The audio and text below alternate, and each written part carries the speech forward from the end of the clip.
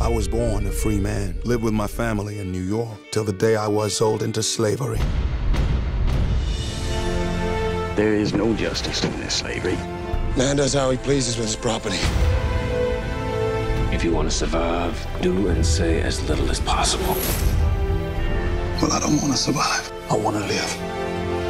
I will not fall into despair. I will keep myself hardy till freedom is opportune.